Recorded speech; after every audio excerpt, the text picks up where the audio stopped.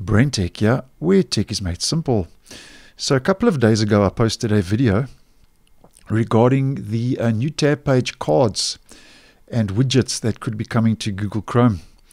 And currently, um, as I did mention in the video, which I will leave a link to in the description, Google is uh, testing, A B testing, um, homepage widgets, um, also called Discover cards for the Google search homepage.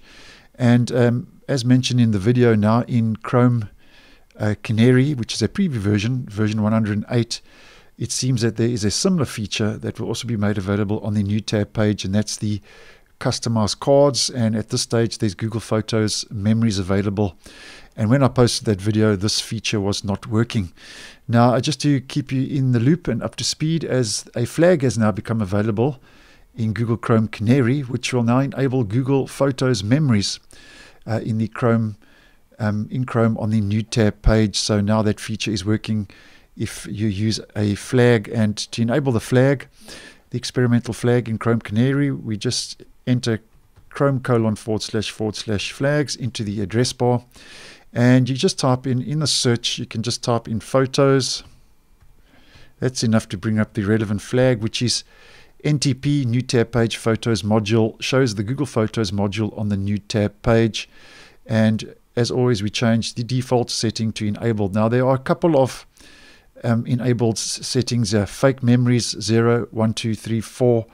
Um, and I'm just going to choose fake memories 3 because at this stage, it's not actually pulling from your photos. It's still early days. So we are dealing with Chrome Canary here. So that's why it's saying fake. So although it's it's it's enabling the photos uh, feature, it's not actually taking it from your Google account. Um, it's just putting fake photos there um, as a feature that uh, Google is starting to test uh, regarding that feature in Chrome Canary. So I'm going to use uh, Fake Memories 3, which will place three photo memories on my new tab page. Relaunch the browser to apply that flag.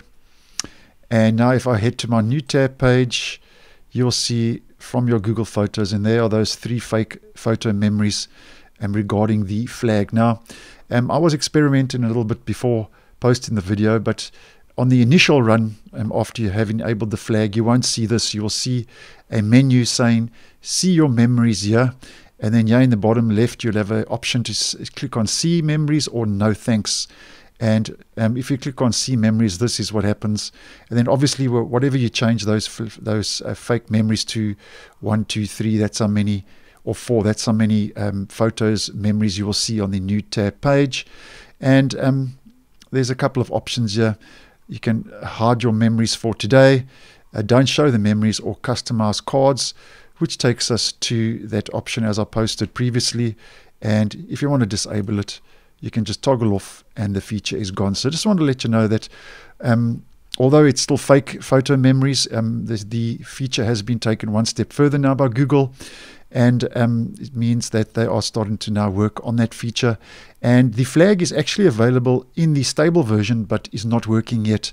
But um, the flag, as mentioned, uh, in the um, Canary version now is um, showing those uh, photo memories now, although fake, still a good indication though that what we can expect if and when Google does start officially testing this and this does roll out to the stable version in an up and coming stable release.